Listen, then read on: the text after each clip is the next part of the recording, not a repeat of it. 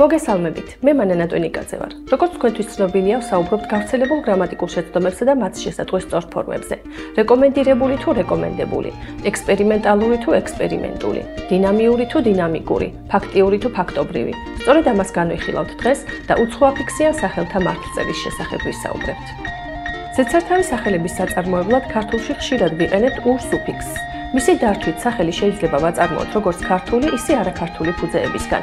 ქალი, ქალური, ემოცია, ემოციური. ურსუფიქსით ცეცხლთავის სახელების სწორად რომ ვაწარმოოთ, საჭიროა დავადგინოთ ნასესხები გვაქვს თუ არა ქართულში ის არსებითი სახელი, რომლისგანაც ცეცხლთავს ვაწარმოებთ. შემდეგ ამ სახელის ფუძეს უნდა დავუხოთ ურ ან ულ სუფიქსი. ქართულში გვაქვს არაერთი ნასესხები არსებითი სახელი, მათ შორის მონუმენტი, პრინციპი, ექსპერიმენტი. შესაბამისად, აღნიშნული წესის თანახმად სწორი ფორმები იქნება: მონუმენტური და არა მონუმენტალური, პრინციპული და არა პრინციპიალური, ექსპერიმენტული და არა ექსპერიმენტალური. იქ სუფიქსში კ არ იკარგება და იქნება. ლირიკა, ლირიკული და არა ლირიული, რომანტიკა, რომანტიკული და არა რომანტიული, მისტიკა, მისტიკური და არა მისტიური, ესთეტიკა, ესთეტიკური და არა ესთეტიური, დინამიკა, დინამიკური და არა დინამიური, სტატიკა, სტატიკური, პოლიტიკა, პოლიტიკური და სხვა. შედარებისთვის უნდა აღვნიშნოთ, რომ სხვადასხვა მნიშვნელობის მქონე სიტყვებია: ეკონომიკა, ეკონომიკური და ეკონომია, ეკონომიური, დიალექტიკა, დიალექტიკური და დიალექტი, დიალექტური. აზე დაბოლოებული სიტყვები სუფიქსთა დართვის შედეგად ახმოვას მოიგვეთს. სწორია, ემოცია, ემოციური, რევოლუცია, რევოლუციური და არა რევოლუციონური, ინდუსტრია, ინდუსტრიული და არა ინდუსტრიალური, კოლეგია, კოლეგიური და არა კოლეგიალური. დემონსტრაცია, დემონსტრაციული და არა დემონსტრატიული.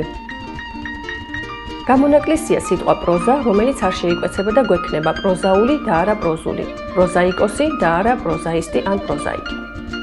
ზოგიერთ სიტყვაში მომხდარია სემანტიკური დიფერენციაცია: ნორმა, ნორმული, ნორმალური, იდეა, იდეური, იდეალური, ცენტრი, ცენტრული, ცენტრალური, პროფესია, პროფესიული, პროფესიონალური, მასა, მასური, მასობრივი. ბერძნული წარმოშობის მა დაბოლოებიან სიტყვებში აღდგება ფუძისეული ტ, პრაგმატული, თემატური, დოგმატური. პარალელური ფორმებია: პრობლემური, პრობლემატური, სქემური, სქემატური, სისტემური, სისტემატური. არასტორია, სისტემატიური, სქემატიური. სწორია, ფაქტობრივი, ტიპობრივი და არა ფაქტიური, ტიპიური. ხშირია უცხოურ სიტყვათაგან ნაწარმოებ უპირო ფორმებში ირ სუფიქსის უადგილო ხმარება, რეკომენდირება, ან და ერთდროულად ის და ირ სუფიქსების გამოყენება, პრივატიზირება, მექანიზირება.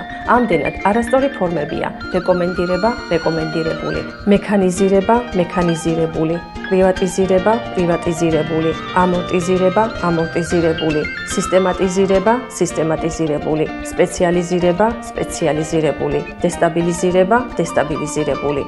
სწორი ფორმებია: რეკომენდება, რეკომენდებული, პრივატიზება, პრივატიზებული, მექანიზაცია, მექანიზება, მექანიზებული, ამორტიზაცია, ამორტიზება, ამორტიზებული, სისტემატიზაცია, სისტემატიზება, სისტემატიზებული, სპეციალიზაცია, სპეციალიზება, სპეციალიზებული, დესტაბილიზაცია, დესტაბილიზება, დესტაბილიზებული და სხვა.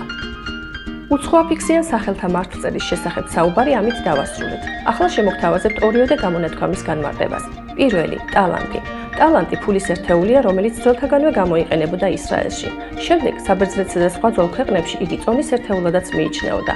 მოგვიანებით კი ბიბლიური თქმულების მიხედვით მან გადატანითი მნიშვნელობა შეიძინა და ეწოდა რაიმე საქმიანობაში დიდ უნარს მიიჭს. მეორე, ქრივის შესაწირავი. სახარების მიხედვით ტაძარში საგანძურთან მჯდარმა ქრისტემ ნახა რომ დიდრებმა ბევრი შესაწირავი მოიტანეს. ერთმა ქრიმაკი მხოლოდ ორი ლევტა შესწირა. იესომ თავის მოწაფეებს უთხრა რომ ამ ქრიმა დედაკაცმა ყველაზე მეტი შესაწირავი გაიღო, რადგან დიდრებმა თავიანთი მოჭარბებულიდან ჩადეს, ხოლო ამ ქრიმა ყოველივე რაც ჰქონდა.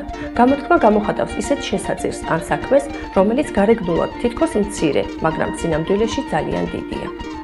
დღეს საუბარი ამით დავასრულეთ. მე მომავალ შეხვედრამდე გემშვიდობებით. ნახვამდის.